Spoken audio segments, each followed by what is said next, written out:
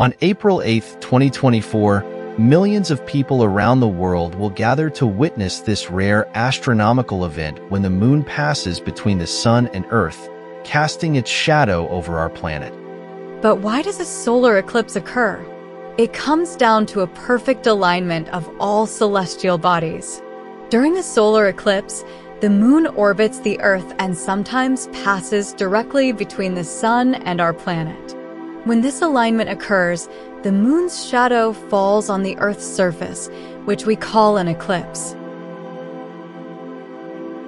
The moon's orbit around the Earth is slightly tilted compared to the Earth's orbit around the sun. So, most of the time, the moon moves above or below the path of the sun in the sky. But during a solar eclipse, the alignment remains the same, allowing the moon to block the sun's rays from reaching Earth. There are three main types of solar eclipses partial, total, and circular. In a partial eclipse, only part of the sun is obscured by the moon.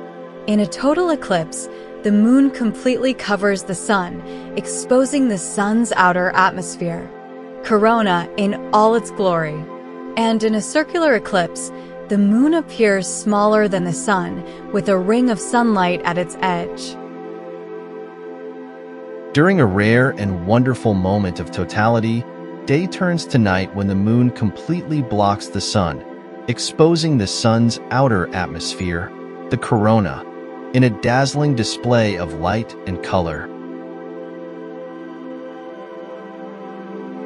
As we marvel at the wonders of the universe, let us cherish the beauty and mystery of a solar eclipse, a reminder of the intricate dance of celestial objects across the vast expanse of space. But viewing a solar eclipse offers more than just a stunning visual display. Scientists seize the opportunity to study the sun's corona, uncovering secrets about our star's magnetic field and solar activity. This is a unique opportunity to deepen our understanding of the cosmos and the cosmos, the forces that shape it. Mark your calendars for April 8th, 2024 and experience one of the most unforgettable celestial spectacles in the universe that will leave you in awe of the wonders of the universe. Don't miss this extraordinary view through space and time.